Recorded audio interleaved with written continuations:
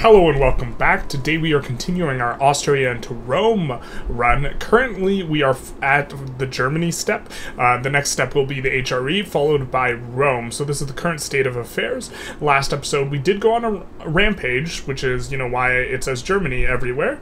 Uh, you know, everywhere we look, it's Germany. Pay F or press F to pay respects to uh, what remains of the USA. Little F in action. And then, uh, you know, this episode I think we will be doing much of the same game. Uh, we notably do want to get uh, the United Netherlands to Dominion status before we form.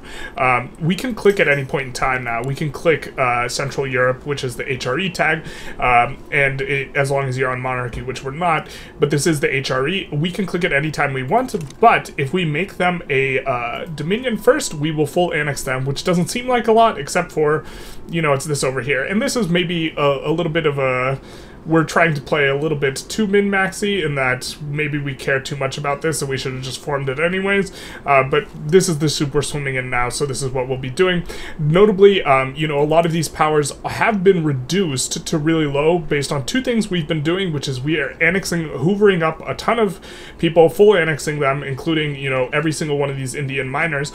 And this is, uh, this reduces the average, and we also have intentionally inflated our prestige by overbuilding navy in terms of what we would need. Uh, we don't need anywhere near this amount of Navy, uh, especially there's all these new navies from annexing people um, we don't need anywhere near this uh, level, uh, but what it does is it increases our prestige, and your uh, ranking is calculated on the basis of um, you either have to pass the threshold of the global average or a threshold that is based off of the leader. And so by uh, eliminating, uh, you know, countries, we raise the global average, and by raising our prestige, we raise the leader percent you need. And you can see here, there's only three great powers remaining, and next time France, you know, steps out of line, we're just going to take Provence and Languedoc, or however this is pronounced um, and uh, following that, uh, you know, they almost certainly will decay down considerably because they will lose all market access to anyone uh, except for us. And so um, this is kind of where we're going. We will just continue on our merry way, um, focusing on, uh, you know, annexing. But I think this episode will focus a little bit less on the conquest and it'll happen more in the background, maybe point some of it out. Uh, but instead, what we will be focused on is, you know, uh, maybe a little bit more on the economics as well as getting ready to form the HRE. To that end, we actually, Voltaire had a criticism of the HRE, which is neither holy nor Roman. Now, we're going to make it Roman, um, but we also have to make it holy. And so, to that end, we're going to come into the buildings tab, we're going to scroll down, and we are going to swap back everything to state-run churches and be very more church-oriented uh, in an attempt to kind of rebolster these guys. Now, it'll take quite a bit of time. If we click exit reform government, one of the problems we're having is that... Um, we probably won't be able to swap until after Rome is made.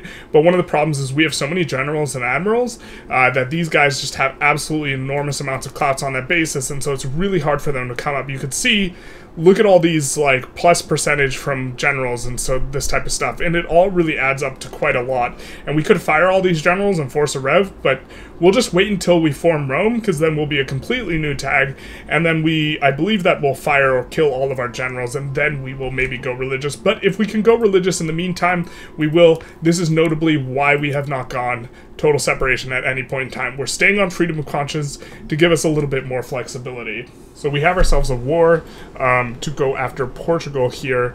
Uh, we had fiddled around with, uh, you know, a Papal States war, but then it got bugged out, so we just reloaded and restarted. And we are going uh, for Portugal and you know, China joined, so we're going to conquer Beijing, Shaanxi, Hebei, and Yunnan. And uh, this will be quite a bit of states. Uh, it'll be a nice little bump in GDP, but more importantly, souls. We will be getting quite a lot of souls out of this, uh, which we can then, you know, have migrate to, you know, our territories that are already very well built up. So the UK and Portugal are already fully occupied. Thresher machine, nice. Um, and, uh, you know, we have three landings coming in kind of in a choreographed fashion on Great Qing, you know, just to establish a lot more fronts. Uh, and these look like they'll get in pretty easily because they aren't, they don't have anyone uh, secured defending. They're going off like this for whatever reason. Um, looking to maybe add to this front I'm guessing, uh, which Portugal created, but we just assigned some guys to. We have plenty of guys just in reserve there. If we need them to come on up, we can, uh, and we will, you know, start to get a pretty quick push off here. Each of these units has four generals, which means they can push on four states at once if completely unopposed, and they are. So we will get a pretty fast occupation here on Qing. Yeah, man, that is real fast. Um, they also are using uh, some of these guys, the cavalry specifically, do have mobilization. Uh, you know, as much as possible, rail transport, forced march. Uh, in theory, truck transport would be nice because they, you see here, 35 days to get to the front. They could push immediately if they could get to the front faster, and so these will be like uh, a useful thing to do for front pushing in general. Uh, you can see they pulled a lot of guys off of these fronts. So what we will do is we will move some of these defensive armies to the fronts over here um, so that the push can be a little bit better uh, overall. That way, uh, our defensive armies catch their offensive armies, and our offensive armies kind of do their own thing. Uh, let's just move this defensive army over here as well because you see this is a minus 27 front, and so this will be, you know, with more frontage, we can bring more of our guys to bear on them. Um, and, uh, you know, UK is out. Portugal is going to be annexed in just a moment. And there's not really much, uh, you know, else to say about it. So I just wanted to highlight why we took the provinces we took off of Great Qing, because obviously it's not a border war consideration, because this is ugly as all hell.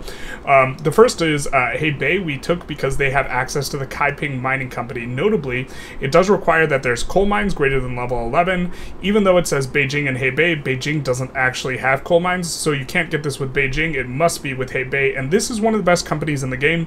It's notably very easy to spike the productivity, uh, you know, on this one, uh, much easier than Sulfur Plus Railway, although we have uh, the Sulfur Plus Railway productivity, and anything that has, you know, a railway is going to be really good, and coal is one of the better minerals to, you know, have. You know, the best is probably iron, and then it's probably coal, uh, and so this is going to be, uh, you know, very, very strong in a lot of cases, and so going after Hebei makes a lot of sense. Also, the mapping on all these states is pretty good. Or, well, Beijing is not very good. Let's take a look at Beijing, though. The thing you, the reason you take Beijing is the Forbidden City, which gives authority and legitimacy from having the head of state and government, which is quite strong. I believe it is subjected to malices. Uh, yeah, it is subjected to the malice from being unincorporated, so we are incorporating both Beijing and Hebei because we do need to incorporate Hebei in order to make use of their company. We are going to also have to, you know, switch to road cards on everything. Uh, but Hebei also has really good mapping. They have access to, you know, both iron and coal and uh, sulfur, and all of the Chinese states have a ton of pops. And so one of the strongest play patterns you can engage in, in general, is taking, uh, you know, one Chinese state and war reps off of them. Uh, the amount of infamy cost is based on, uh, you know, the amount of pop, but there is a cap, and I believe the cap is either reached at one or two million. And so generally, you want to take really low population states that have a lot of resources, or states with an enormous amount of population for which China fits the bill, and they also pay more war reps than anyone in the game. And so this is why this is a strong play pattern normally. Shaanxi is the most resource dense state in the game. Uh, they also have oil that appears here. It hasn't appeared yet. Uh, and they have a ton of coal, a ton of iron, a great state to build in. They also have, you know, uh, agricultural and plantation throughput. And notably, um, Beijing, Hebei, uh, and uh, or sorry, Beijing, Hebei, and uh, Shaanxi, unfortunately, do not have rice, which is a little OP, but they are great for building, you know, silk and cotton uh, for the most part. Well, not uh, Shaanxi, but uh, the cotton and silk uh, in Beijing and Hebei, which we are both incorporating. Now, Yunnan is probably the best rice state in the game uh, that can, or the best rice state in China at least. The best in the game is probably North Bengal, uh, which while it doesn't have coal, has access to, you know, a very strong plus 15% agricultural throughput. But coming coming back to Yunnan, we took it, or coming back to Yunnan, uh, we took it because it has, you know, a lot of coal and iron, so it's a great state to build in. We are kind of running out of coal and iron states in which to put,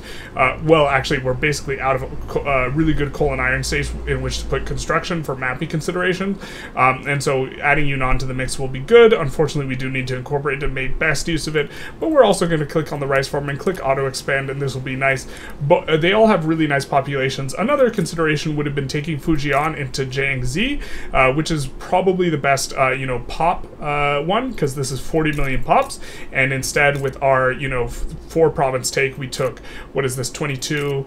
Uh, never do math when you're recording a video 36 around 40 million pops uh, and so maybe it would have been better to take Fuji, uh, Fujian into Shaanxi. Fujian, notably, um, if I recall correctly, yes, they do have dyes, and so this is pretty good. Also, a decent amount of logging. Jiangxi has coal, and so this would have been, you know, reasonable as well. Both have rice as well, and so we could have done this, but we decided to do it a little bit differently. We're also going to put a level for qualifications reason. We're going to put a level one uni in each of these. Um, and then, uh, you know, we will continue on our merry way. Uh, we only have five weeks until uh, we can try and subjugate uh, the United Netherlands, which is what it's all about here. All right, one day remaining on this truce here. Zero days, and there's no more truce, so uh, gonna have to open you up like a coconut and say, you are our protectorate now. Of course, they will say no, and of course, a bunch of people will join on their side. Probably all three of these. Wouldn't be surprised to see, you know, a pretty big join. We do not want to protectorate anyone at this point, so even if Brazil joins, we're not going to protectorate them. We would just peel states off of them. Kind of low-key hoping France joins so we get the full encirclement.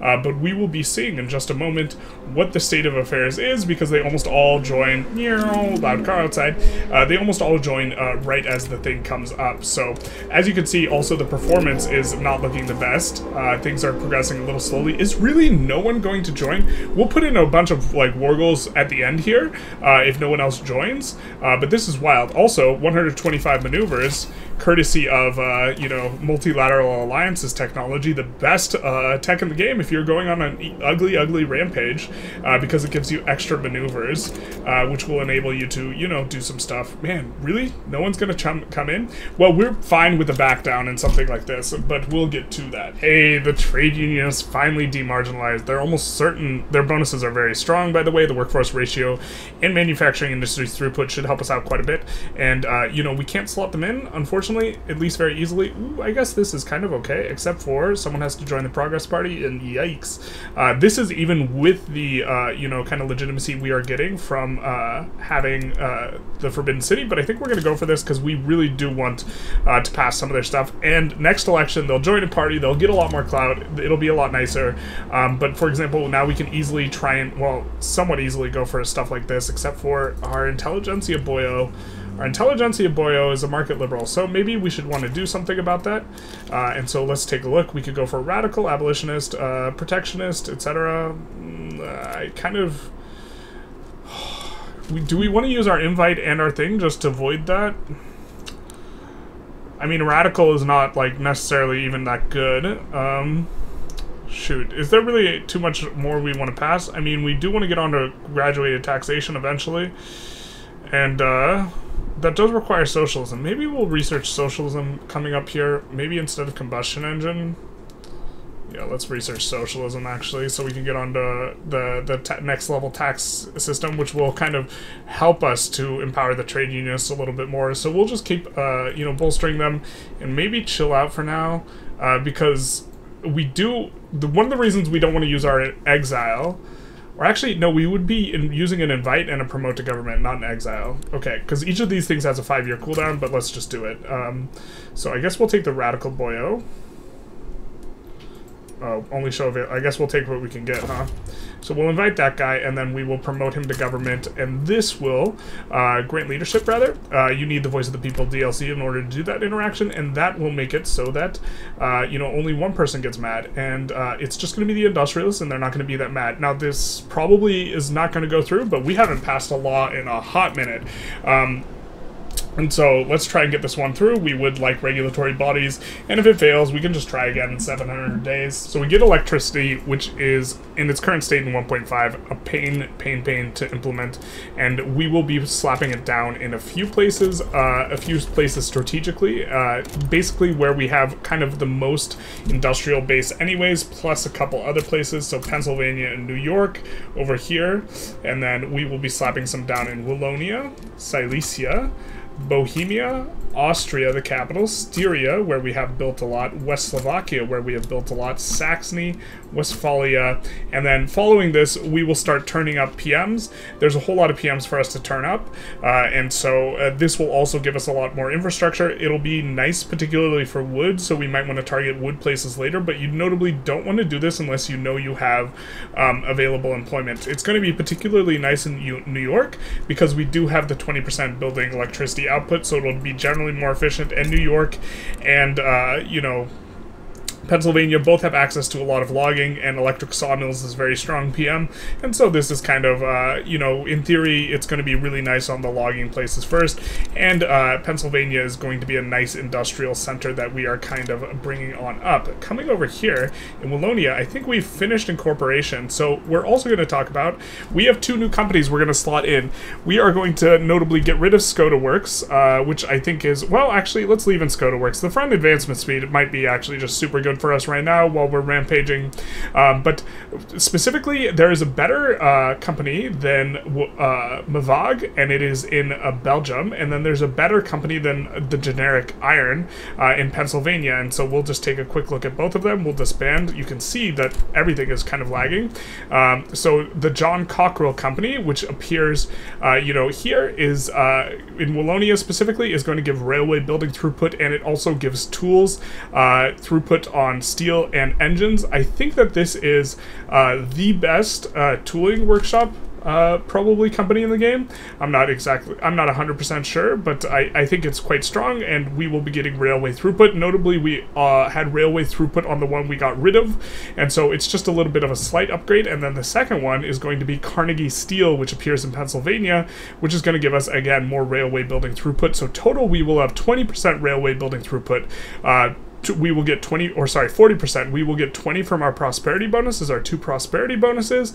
And also you know um, i think that uh, lead uh, or coal is preferred to lead.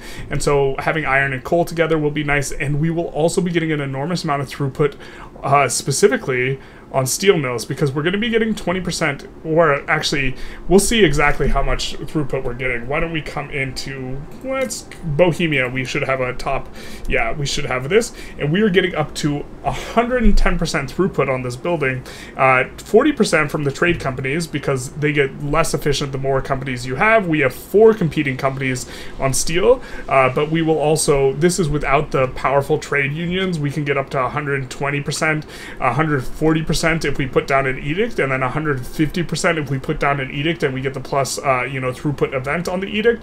And so really, really, really having a ton of throughput on steel is going to be, um, you know, nice. It does kind of depress the price of steel, so we do have to be, we are slightly concerned that we might lose our bonus, um, but we might also want to get rid of Bohemia Steel at some point because we are starting to reach the point where additional buildings are not really that useful. They're not fully employing. There's other stuff going on in the economy, and so maybe we want to slot out Bohemia Steel. Uh, notably, we are only doing this for the 10% state construction efficiency. So if this stops being able to be maintained, we definitely slot it out. But this is a really strong company. 10% construction speed efficiency. The construction speeds, like what you get from most companies, is really valuable. And like for example, uh, well, we'd slot out Skoda Works first, but like uh, this is giving us, uh, you know, 35% construction speed on these three industries. That's nowhere near as good as 10% uh, just writ large. Um, we are of course continuing this war, and uh, they're fully fully occupied, and they're gonna you know give up soon, hopefully hopefully Bueller Bueller. Uh, they're not fully occupied over here though, so I guess that's fair enough. And then we, once we finish this war, five years from then, we will be forming, we will be forming the HRE or you know Central Europe. Karl Marx, you say? Shocked that we're somehow the first ones to research socialism. So, but uh, okay, we get Marx in Germany, which is uh, not per the usual. He was German, but he didn't leave in Germany, so now he's in charge here. Karl Henrik Marx, uh, who is going to, you know, obviously be a communist. We might end up, you know, overriding him because we want someone with a humanist ideology in order to pass multiculturalism or an anarchist, and traditionally you do this with the trade through the trade unionists. But he's going to be pretty popular while he's in charge of the IG. I guess we would have preferred him as a. a hmm, I think if we choose the other event, he comes in as an agitator, which actually would have been preferable. But um, okay, either way, neat little thing. We get Karl Marx. If you're the first one to research socialism, you get Karl Marx, and we did so. Big nice. Please forgive us for the border gore we are about to commit we know not what we do, seizing Lithuania, Orsha, Novgorod, Smolensk, East Karelia, and Luhansk. Luhansk is for a company, though, not the border gore. So more than happy to uh, a world to win. We uh, flip it with the socialist ideas sweeping across Germany. To be fair, this actually is because, uh, you know, Marx is in office, or he's in the government, and he is, uh, you know, uh, trade unionists. This is one of the reasons why if you want to go communist, you can just research socialism really early uh, if it's essential. We aren't exactly looking to go communism, so perhaps we should have just chosen not to get Marx, but it's a little bit of a novelty. But now we get to enact reg bodies for free, which we of course do, uh, and then we will look to increase the institution. We're going to need a lot more authority in order to increase it, uh, you know, to max rank here. And we do see a little bit of this. What's this about? Conquer Liberia? Oh, baby. Our subject, United Mother Netherlands, making money moves here. Interesting. Wow, isn't this neat? We have the opportunity to reduce our infamy by 10. That'll really help out, you know, in terms of how the world views us and thinks of us, you know, clearly this is something we're interested in. So we're to do a move that don't do very often, which is we have a secession movement coming up.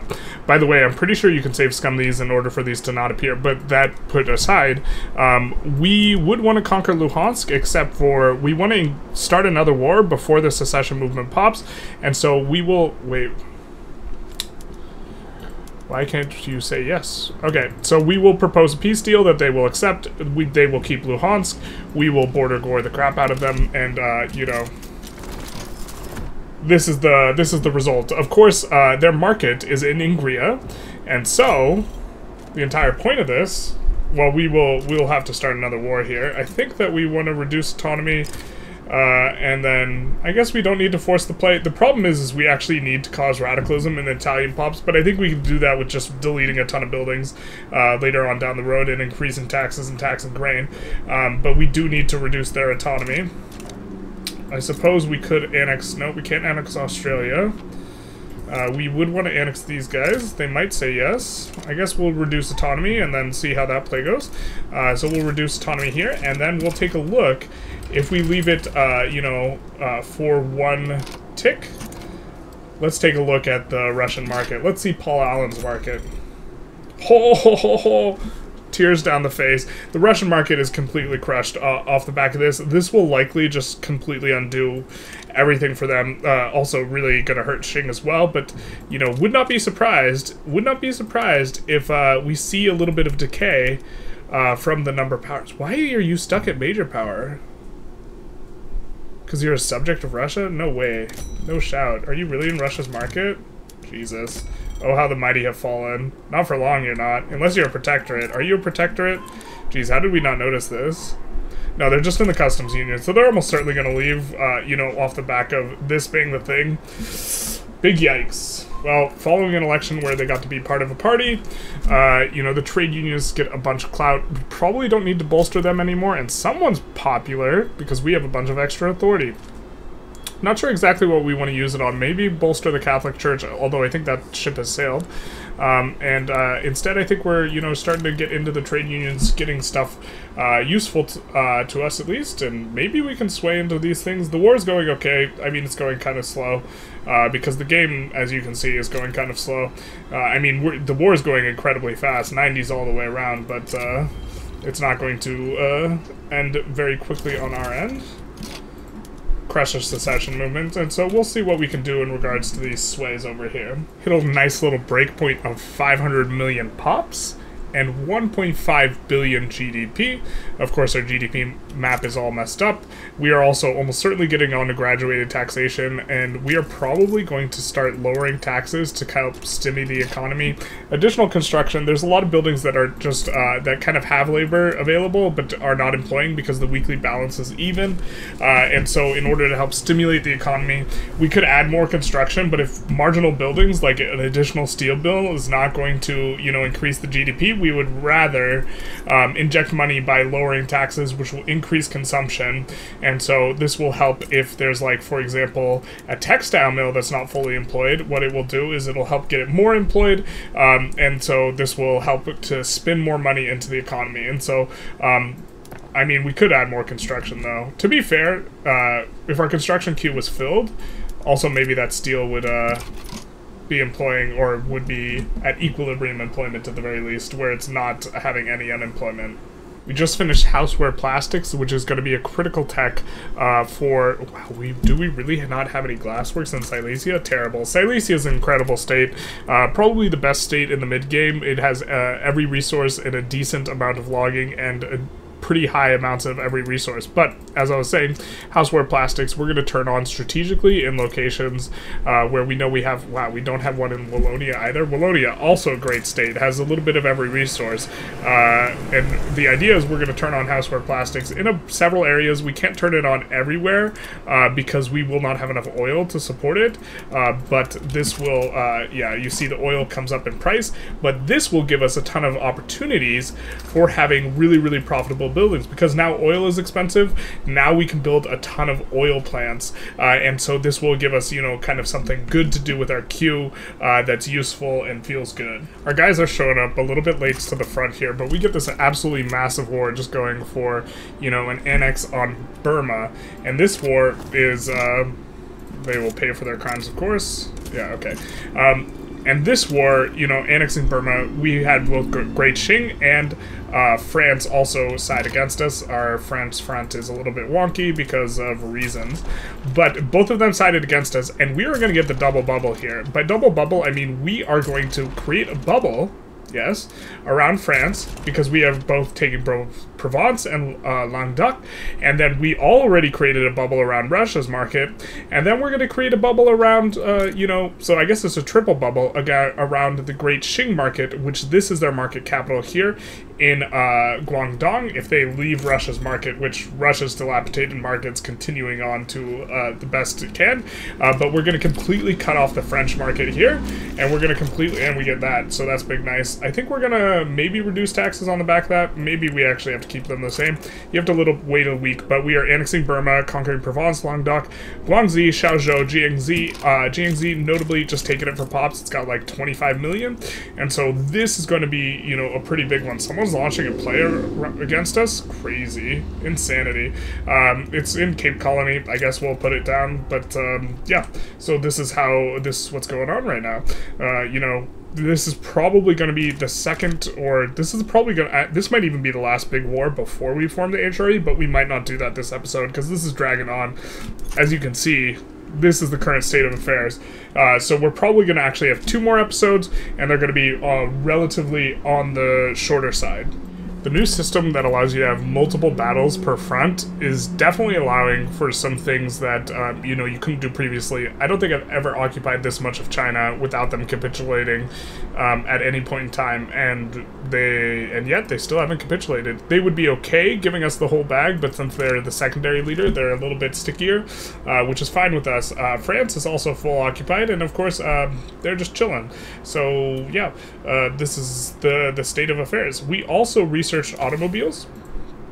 Uh, in terms of NAT spread, combustion engine, which is nice. Uh, we will get to turn on, you know, public motor or we will get to turn on motorized reconnaissance to help make some of these, um, you know, go a little bit faster. Why don't we smoking cabaret? Let's see let's not do the one that gives us minus bureaucracy. Um, and uh, we will just need to find a place where we can turn on uh, first little bit of cars uh, in order to seed them. Uh, in theory, we do want to prioritize places that have oil, which is why we turn them on in Pennsylvania. Um, this we also have a lot of demand for oil currently, which is going to make these places a lot more profitable. Also, we get the second level on this, so we will be able to turn that on, which is uh, you know pretty good. The problem is we just don't have enough demand for it. Yikes! Uh, we have to fix some territory up, uh, but uh, yeah, the problem is really the demand oils is very, very strong, and we are more than doubling it here in the queue. The queue is also kind of big, um, but uh, yeah, we will be annexing very, very shortly, or we will be cutting off from the market both France and uh, Great Britain, or not Great Britain, Qing here we have become Death, Destroyer of Markets. Uh, just to kind of update, we did pass the 10k prestige mark. Aren't really actively pushing the prestige that much because it's not like we're going to protect protectorate and then annex anyone. Although sometime down the line, you know, in order to maintain France is almost down to like major power status, and Great Qing um, probably isn't going to decay lower than that. But I mean, maybe we could make, maybe we could swing that. You know, the USA definitely could uh, uh, decay, especially if we took Texas from them, which would completely crush their market access because their trade capital is in the District of Columbia, and so all it takes would take is taking Texas, and then we could protectorate them very easily. I have to pay respects to all the markets we killed this, uh, you know, this episode. Um, you know, we killed uh, the Russian market here. Uh, if Russia ever releases Qing, we will have the Qing market killed as well because the capital is in Guangdong. And of course, you know, France is surrounded. You thought surrounds were only in Hoi 4? terrible. You, so they have literally zero market access anywhere else. Not that they really have much anywhere else because, uh, well, it's just kind of that. Look, we could highlight, oh, you got this here, you got Haiti, but like really, uh, you know, France expecting to see them kind of collapse as well because they can only trade with Brittany, and Brittany is in the Breton market and not the French market. The France could get them in the market though, uh, but uh, you know, you, we can see their GDP. It's not looking so hot. It's not looking so hot. So, uh, you know, this episode we crushed markets. F's to pay respect. I hope you enjoyed. If you did, please uh, feel free to like, comment, subscribe. Next episode, what we will be doing is we will be annexing Spain. So we will be waiting a full, you know, it's going to be five years uh, until we can annex Spain, and then we will be forming uh, the uh, HRE. Um, we have to wait on this truce, uh, and then we can reduce their autonomy, and then we'll annex Spain, and then we'll form a nice big HRE. We might even just forego Spain and just form an HRE uh, after reducing these guys' infamy, which feels a little bit silly, but um, I think that maybe it makes some sense. Um, God, we want to take some territory off of these guys because we need to increase Italian radicalism, but that's something for next episode. Um, I hope you enjoyed. Uh, feel free to like, comment, subscribe, YouTube algo stuff, and have a good day.